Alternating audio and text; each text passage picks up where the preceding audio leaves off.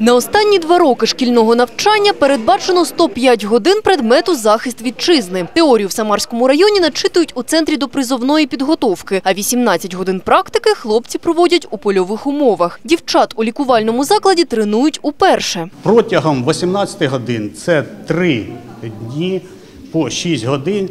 Дівчата відвідують е, ці заняття і в різних відділеннях. Є розподіл, тобто частина в хірургічному відділенні, частина в відділенні хірургічної інфекції, частина в стоматологічному відділенні, частина в відділенні травматології, Е, також в відділенні неврології та терапії. У нас іде це по днях. Один день в одному відділенні, другий день в другому відділенні. На протяжении трех недель через э, военный госпиталь пройдет э, примерно 130-140 девчонок 11 классов.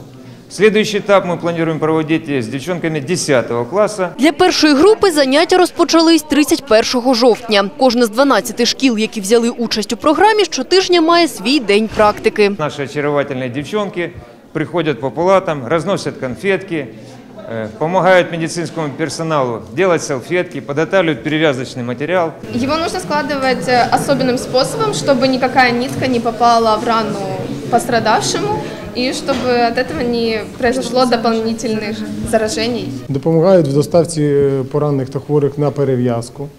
От, асистування молодшому та середньому медичному персоналу, персоналу при встановленні крапельниць, при догляді за хворими. А от доручити перев'язку бійця практиканткам поки бояться. Хоча ті на теоретичних заняттях уже спробували і на собі, і на хлопцях-однокласниках. как будто бы они попадали в какие-то критические ситуации, и мы подлазили, накладывали жгуты и бинты. Катерина у шпиталі вже вдруге. Подобається, каже, більше у травматології. Паперова робота у хірургічному відділенні не вразила. Я за один день, э, то есть э, одного урока, я узнала больше, чем за всю жизнь. У нас есть э, несколько девочек, которые собираются идти в медицинский. Я, конечно, еще думаю, не определилась, но для меня все-таки это такой слишком большая ответственность, слишком мне, наверное, будет страшно продолжать.